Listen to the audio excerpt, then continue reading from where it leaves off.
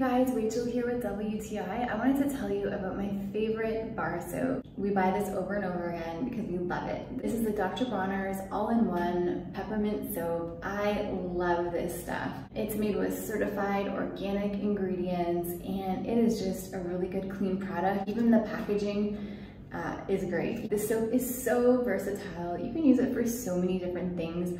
We just, of course, use it in the shower. You can wash your face, your hair, your body. Some people also use it as an ingredient to make their own detergent.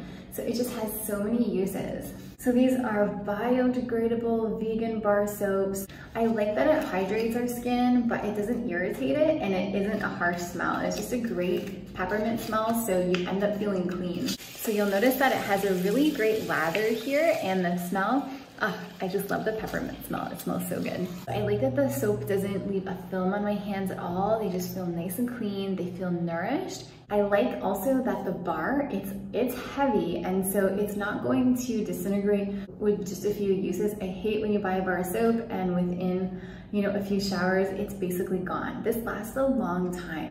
So this is a great product. You will love it if you buy it. I love it, but that's my point of view.